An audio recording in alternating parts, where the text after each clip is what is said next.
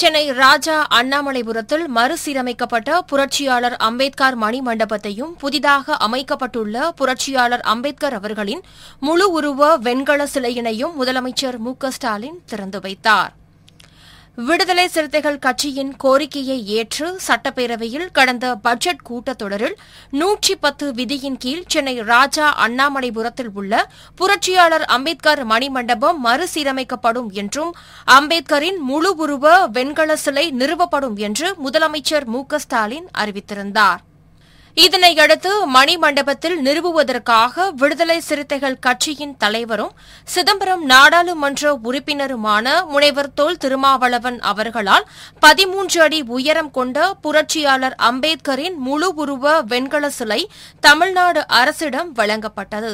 இந்நிலையில் பணிகள் நிறைவு பெற்றதை அடுத்து மறுசீரமைக்கப்பட்ட புரட்சியாளர் அம்பேத்கர் மணிமண்டபத்தையும் புதிதாக அமைக்கப்பட்டுள்ள புரட்சியாளர் அம்பேத்கர் அவர்களின் முழு உருவ வெண்கல சிலையினையும் நூலகத்தையும் முதலமைச்சர் மு ஸ்டாலின் திறந்து வைத்து அம்பேத்கரின் திருவுருவ படத்திற்கு மலர் தூவி மரியாதை செலுத்தினார்.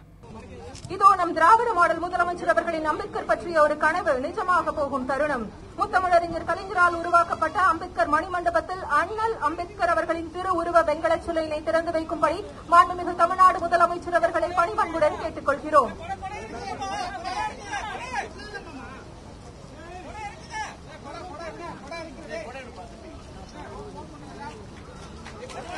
கொள்கிறோம் வடக்கில் உள்ள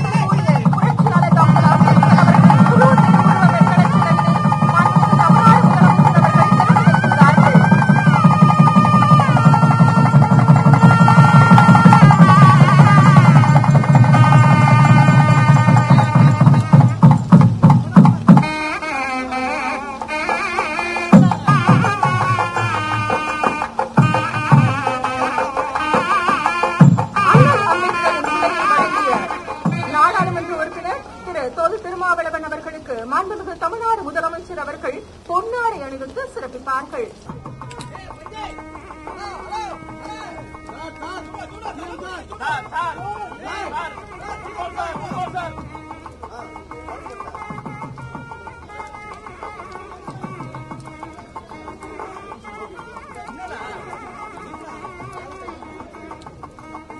வடக்கில் உதித்த சூரியன் புரட்சியாளர் டாக்டர் அம்பேத்கர் அவர்களின் முழு திருவுருவ வெண்கல சிலையினை தனது பொற்கரங்களால் திறந்து வைத்துள்ளார்கள்.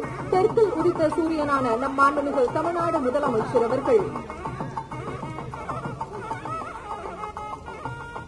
இந்நிகழ்ச்சியில் விடுதலை சிறுத்தைகள் கட்சியின் தலைவரும் சிதம்பரம் நாடாளுமன்ற உறுப்பினருமான முனைவர் தொல் திருமாவளவன் அமைச்சர்கள் துரைமுருகன் பொன்முடி ஏவா வேலு மா சுப்பிரமணியன் சேகர் பாபு பெரிய கருப்பன் சி வி கணேசன் கயல்விழி செல்வராஜ் மனோ தங்கராஜ் விடுதலை சிறுத்தைகள் கட்சியின் சட்டமன்ற உறுப்பினர்கள் சிந்தனை செல்வன் எஸ் எஸ் பாலாஜி ஆளுநர் ஷானவாஸ் பனையூர் மு பாபு மற்றும் திமுக காங்கிரஸ் விடுதலை சிறுத்தைகள் கட்சிகளை சார்ந்த சட்டமன்ற உறுப்பினர்கள் சென்னை மாநகராட்சி மேயர் பிரியா தமிழ்நாடு பாடநூல் கழக தலைவர் திண்டுக்கல் ஐ. லியோனி உள்ளிட்டோர் கலந்து கொண்டு புரட்சியாளர் அம்பேத்கரின் திருவுருவ படத்திற்கு மலர் தூவி மரியாதை செலுத்தினர்.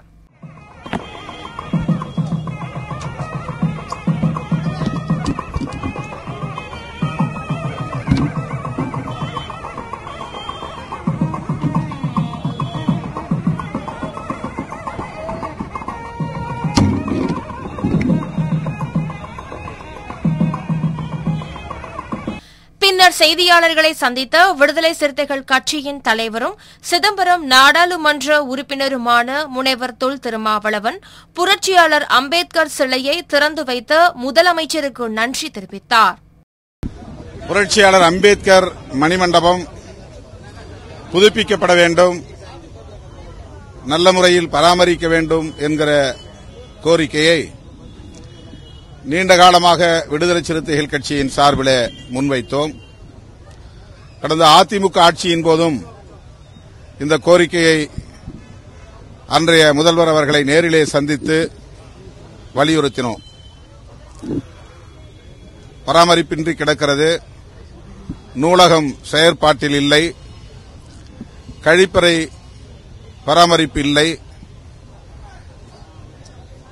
பாதுகாப்பில்லாத நிலையில் மணிமண்டபம் கிடக்கிறது என்கிற கோரிக்கையை அதிமுக ஆட்சியின் போது முன்வைத்தோம். தற்போது திராவிட முன்னேற்ற கழக தலைவரும் தமிழக முதல்வருமான தளபதி அவர்களிடமும் இந்த கோரிக்கையை எழுப்பினோம். அதன் அடிப்படையில் உடனடியாக மாண்புமிகு முதல்வர் அவர்கள் உரிய நடவடிக்கைகளை மேற்கொண்டார். அதன் அடிப்படையில் மணிமண்டபம் புதுப்பிக்கப்பட்டிருக்கிறது. நூலகம் மிகச் சிறப்பான முறையிலே மறுசீரமைப்பு செய்யப்பட்டிருக்கிறது. ஆயிரக்கணக்கான நூல்கள் இடம்பெற்றுள்ளன. நூலகர் நியமனம் செய்யப்பட்டிருக்கிறார். கழிப்பறைகள் முழுமையாக மாற்றி கட்டமைக்கப்பட்டிருக்கிறது. அது மட்டுமில்லாமல் பூங்கா சீரமைக்கப்பெற்று அந்த பூங்காவில் முழு உருவ வெண்கல திருவுருவச் சிலையை புரட்சியாளர் அம்பேத்கருக்கு இங்கே தமிழக அரசு நிறுவியிருக்கிறது. அத்துடன் இந்த பூங்காவில் பகவான் புத்தர் சிலையும் நிறுவப்பட்டிருக்கிறது.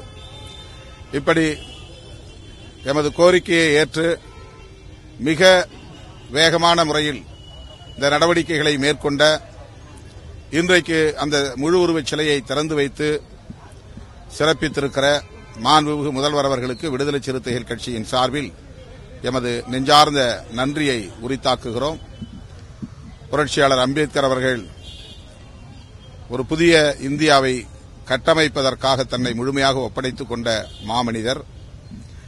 பழைய சனாதன இந்தியாவை முழுமையாக தகர்த்துவிட்டு சமத்துவம் நிலவும் ஒரு புதிய இந்தியாவை கட்டமைப்பதே அவருடைய கனவாகும். அந்த கனவை நனவாக்கக்கூடிய வகையில் திராவிட முன்னேற்றக் கழகத்தின் தலைமையிலான அனைத்து ஜனநாயக சக்திகளும் இன்றைக்கு களமிறங்கியிருப்பது பாராட்டுதலுக்குரியது. சனாதன சக்திகளுக்கு எதிராக ஒரு கருத்தியல் போர் இந்திய அளவில் உக்கிரமடைந்திருக்கிறது. தமிழகத்திலும் அது தீவிரமடைந்திருக்கிறது. அந்த அடிப்படையில் புரட்சியாளர் அம்பேத்கரை இன்றைக்கு அனைத்து தரப்பு மக்களும் சாதி மதம் என்கிற வரம்புகளை கடந்து ஏற்றுக்கொள்ளுகிற சூழல் கனிந்திருக்கிறது.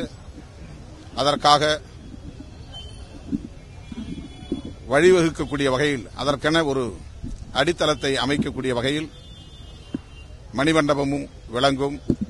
மணிமண்டபம் இனி அரசின் கட்டுப்பாட்டில் முழுமையாக இருக்கும் பராமரிக்கப்படும்.